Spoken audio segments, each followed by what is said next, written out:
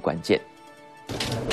行政院长陈建仁一早笑容满面，看得出好心情。对于南投补选，蔡培慧险胜林明珍，仿佛给民进党注入强心针。蔡培慧立委啊，深耕南投，在南投啊得到了民众的支持，一定会在立法院啊对我有很好的咨询，也会为南投啊乡亲带来更好的建设。期待两人国会殿堂交锋，而蔡总统脸书也特地发文，选举是为了要选出可以照顾大家的人。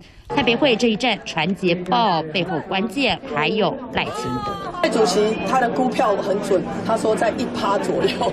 我之前有开过刀，那所以这段时间坦白讲不应该有那么密集的这个呃呃这个行动，所以我只能想救急复发这样子。很，所以我非常的感谢跟尊重呃赖副总统赖主席。尽管身体不适，党主席赖清德还是要来。整个二月，赖清德到南投拉台蔡培会就高达三十场。